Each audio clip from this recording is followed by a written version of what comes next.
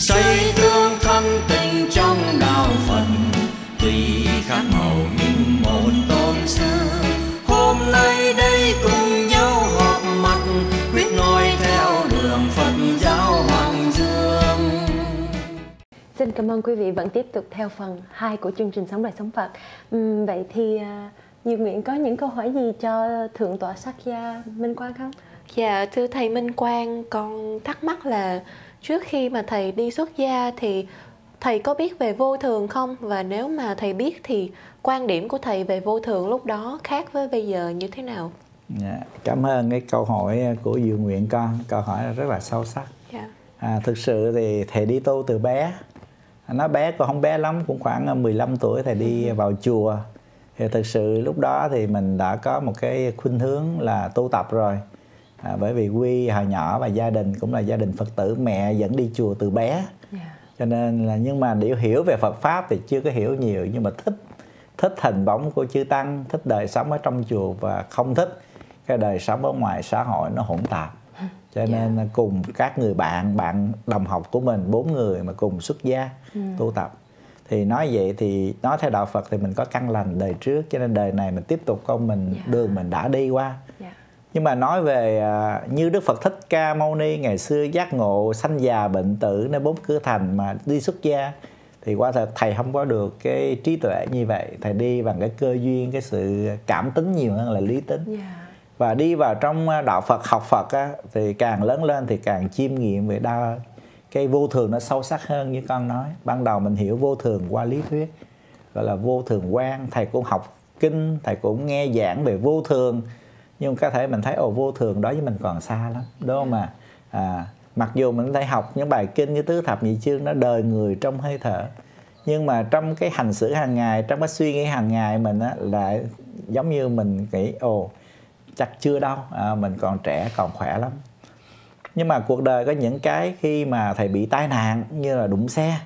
À, thì những cái gì đó thì nó càng giúp thầy tỉnh thức hơn về cái chữ ờ, vô thường trong ờ, cuộc đời của mình.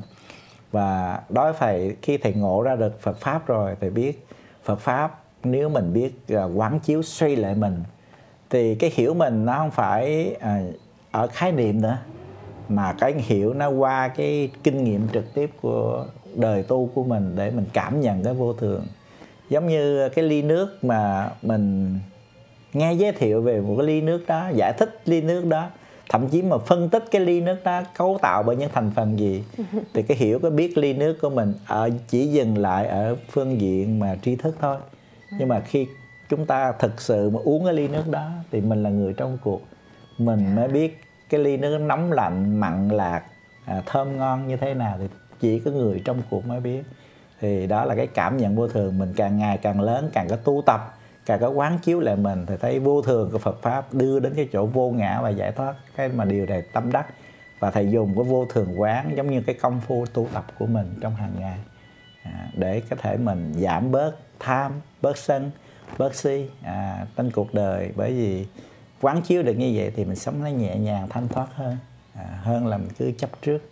Để rồi mình à, khổ đau. Ngay cả làm chùa hay là ngay cả thầy làm tất cả cái gì mình thấy tất cả đều là vì Phật pháp hết à, chứ không có cái ta và cái của ta quán chiếu nhắc nhở là mình như vậy đó Dạ. à, để sẵn sàng một ngày nào ra đi thì mình cũng ra đi ở trong cái niềm quan hỷ thanh thản Dạ.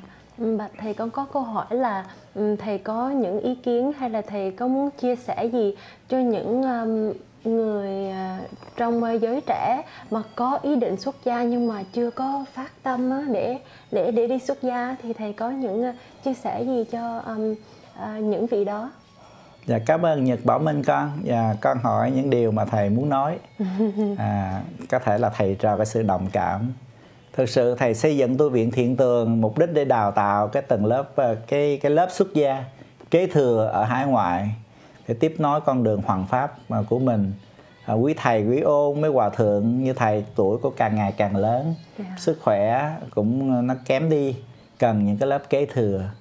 Và thầy muốn những người con Phật phải phát nguyện phát tâm xuất gia để trong tam bảo nó phải có tăng bảo đúng không ạ? Dạ. quý thầy quý sư cô những người mà cống hiến hy hiến cuộc đời mình để mà gìn giữ và truyền bá Phật pháp thì à, lớp trẻ xuất gia thầy nghĩ rằng đừng nghĩ xuất gia là sự tiêu cực là chán đời mà nếu mình khuyên mọi người xuất gia thấy xuất gia đó là một cái sứ mạng vĩ đại.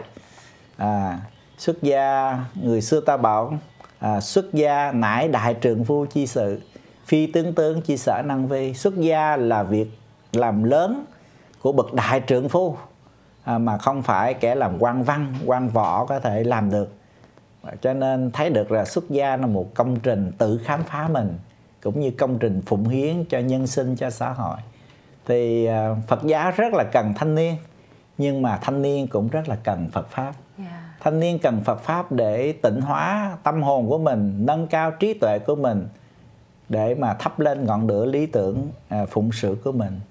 À, và Phật pháp cũng cần thanh niên những thanh niên xuất gia thanh niên tăng ngoài thanh niên Phật tử ra người thanh niên xuất gia để có đủ sức khỏe trí lực để thay chư tôn đức hoàng dương chánh pháp. Yeah. tre tàn măng mọc và rất mong những mục măng à, nơi hải ngoại này nơi đất Hoa Kỳ này thích hợp với thổ nghi thổ nhưỡng sẽ trở thành những cái cội tre già để mà làm rường cột cho Phật pháp sau này.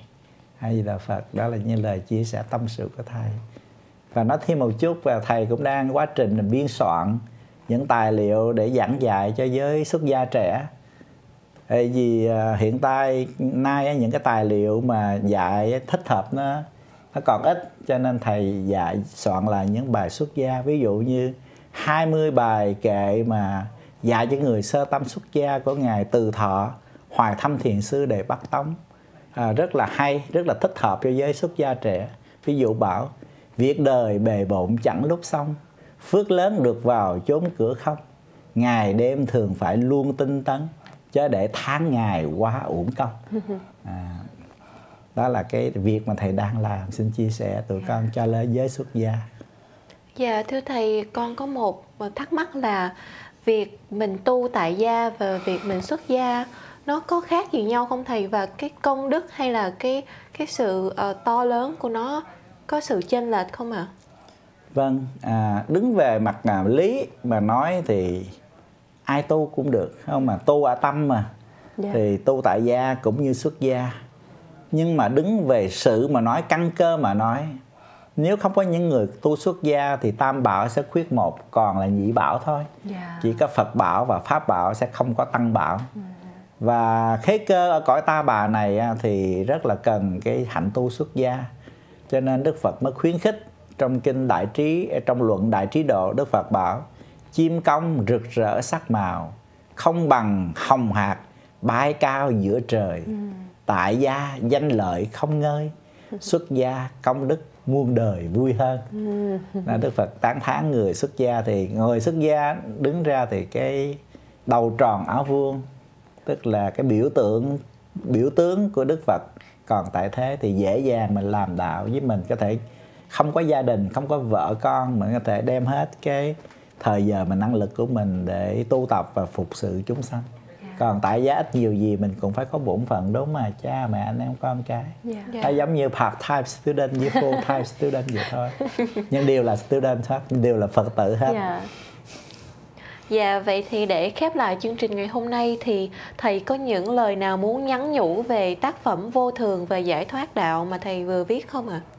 Vâng, cảm ơn con. Và quyển sách này đó là ghi lại những tóm tắt lại những bài giảng của thầy qua những thời pháp thoại khác nhau nó cũng là tâm huyết của mình và cũng là để à, đền ơn cho thầy tổ như à, hòa thượng viên lý đã từng giới thiệu đó yeah. Dạ.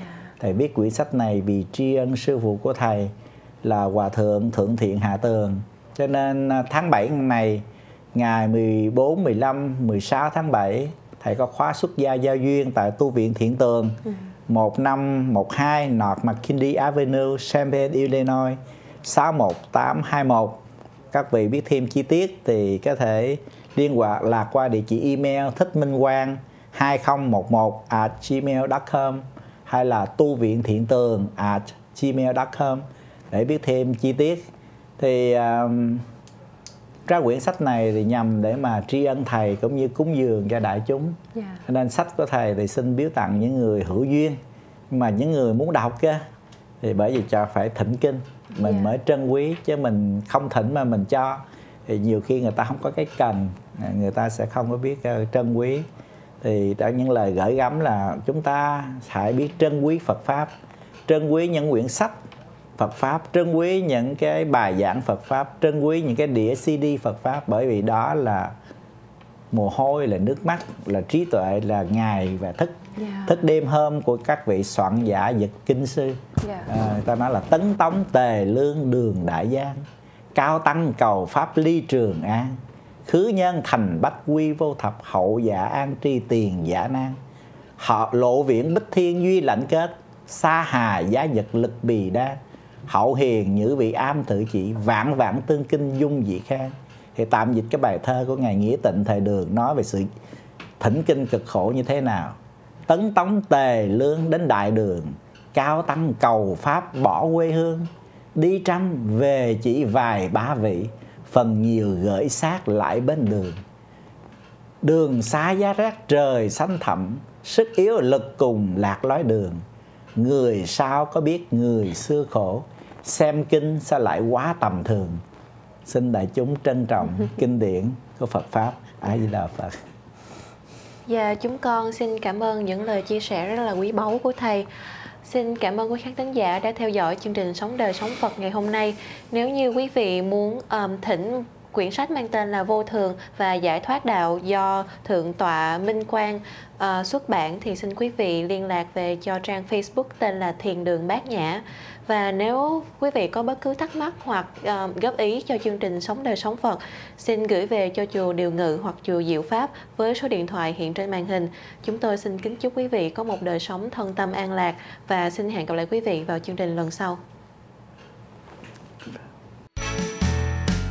Xây tương thân tình trong đạo phật tuy khác màu nhưng một tôn sư. Hôm nay đây cùng